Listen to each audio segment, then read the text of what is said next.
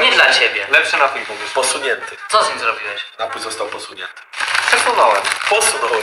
Dobra, jest prawda. Powiedzmy, że posunąłem. Delikatnie.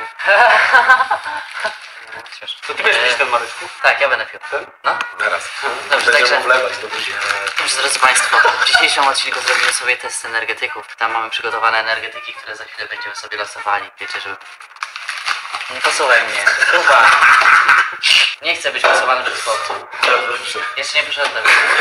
Dopiero mnie to czeka. W każdym razie, robimy dzisiaj... Five minutes later. No chyba już się do końca powaliło. No wypadł, stąd było zamknięte. Five minutes later. Pada te świeczki. No uważaj, no, No czekaj, wpadnie ci. dobra. No nie widzisz, kurde, no, to, Marek, Marek, nie tak mocno. Co? No nie przechylaj tak mocno, bo ci No spadnie. widzisz, zgasła. No to nie przechylaj, k***a. No idiota, mówiłem. Mówiłem, k***a. Milion follow! Ale mówiłem ci, Debilu! co? Moje marzenia, mój tort, moja dziewczyna, balony, wszystko zepsułeś.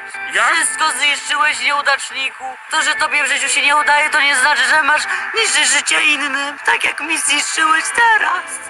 To jest niepoważny człowieku. Zniszczyłeś mi milion follow. Wracam do domu, bez ciebie. Zostaniesz na tej wiosce. No szkoda żart jakiś.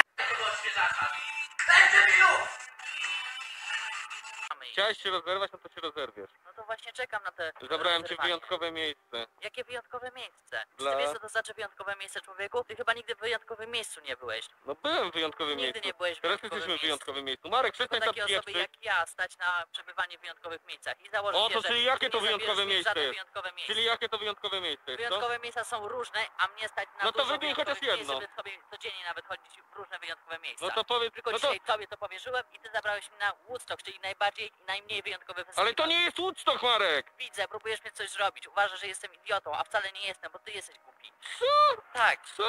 nie możesz dosięgnąć do mojej inteligencji, tak?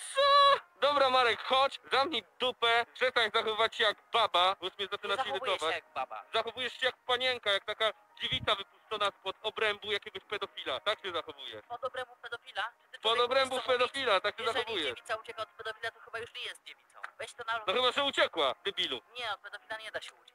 A co, masz jakieś doświadczenia? Nie, po prostu wiem, bo mam kolegów takich w więzieniu. Tak? Tak, mam.